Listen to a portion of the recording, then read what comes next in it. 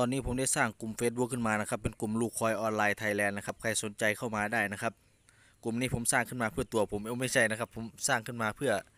เออให้ความรู้กับน้องๆทั้งหลายนะครับ ใครที่สงสัยอะไรก็สามารถถามผมมาได้นะครับ ผมจะได้อธิบายได้ง่ายๆนะครับ อธิบายในนี้สามารถโพสโพสภาพโพสอะไรบอกได้นะ สมาชิกกลุ่มตอนนี้มีแค่ผมอยู่คนเดียวนะครับ อย่าลืมอย่าลืมมาเข้ากลุ่มนะ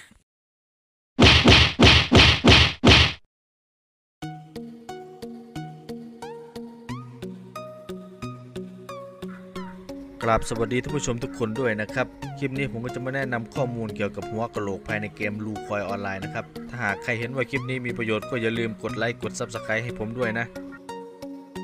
แล้วก็ต้องขออภัยสำหรับเสียงเป็ดเสียงไก่ด้วยนะครับ พอดีว่าผมเอออัดคลิปก็ไม่ได้มีคุณภาพอะไรขนาดนั้นนะ ก่อนอื่นสิ่งที่ท่านผู้ชมจะต้องรู้ก็คือหัวกะโหลกภายในเกมลูคอยออนไลน์มันมีอยู่ทั้งหมด 6 หัวนะครับ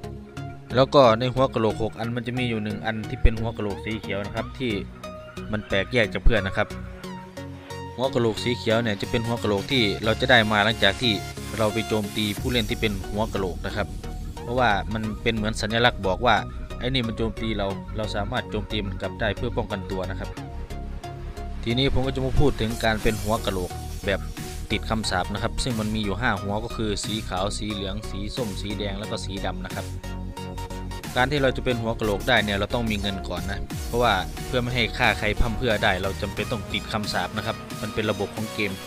ถ้าหากว่าเราต้องการจะฆ่าใครสักคนนะครับ เราจำเป็นต้องมีเงินก่อน สมมติผมจะสมมตินะว่าผมมีเลเวลอยู่ 430 ผมก็เอาเลเวล 430 ของผมเนี่ยไปคูณกับ 150 นะครับ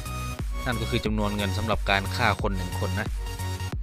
แล้วถ้าหากเราได้ฆ่าใครไปแล้วเงินของเราก็จะติดคำสาปนะครับ ทำให้ใช้ไม่ได้จนกว่าจะออกจาก skull หรือจนกว่าจะถูกฆ่าตายนั่นเอง แล้วก็ถ้าท่านผู้ชมอยากจะเป็นหัวกะโหลกสีดำนะครับ ก็ต้องฆ่าคนติดต่อกัน 4 คนก่อน แต่ว่าการคำนวณเงินเนี่ยผมจำไม่ได้แล้วเอาเป็นว่าถ้าเลเวลไม่เกิน 430 เนี่ยพกไปสัก 3 ล้านก็สามารถเป็นหัวกะโหลกสีดำได้นะครับทันทีที่เราเป็นหัวกะโหลกสีดำแล้วชื่อของเราจะถูกประกาศบนเซิร์ฟเวอร์นะครับทำให้ผู้เล่นหลายคนสามารถตามล่าเราเพื่อฆ่าเราได้นะครับ